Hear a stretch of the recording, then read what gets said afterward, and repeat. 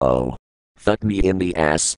First PTBF 2002 spoiled episodes from The Loud House, and now he spoiled episodes from The Amazing World of Gumball. I have had enough of this. Time to do a commentary on his rant on the hero. Yes, I have seen that episode, and I hated that episode. But that still does not give him the right to spoil episodes from TV shows. Let's start already. The hero. What? No.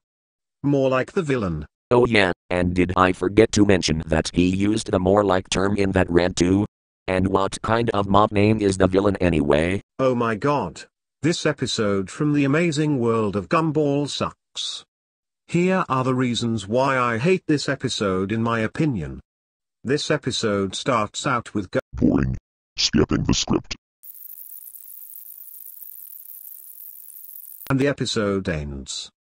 And that's how the episode goes. I don't know who likes or hates this episode, so I'm just gonna leave it be. No one gives a sh. So screw the hero. And screw the girlfriend. What does the girlfriend have to do with this rant? The kids is 7 quid. You've reached your limit on talking.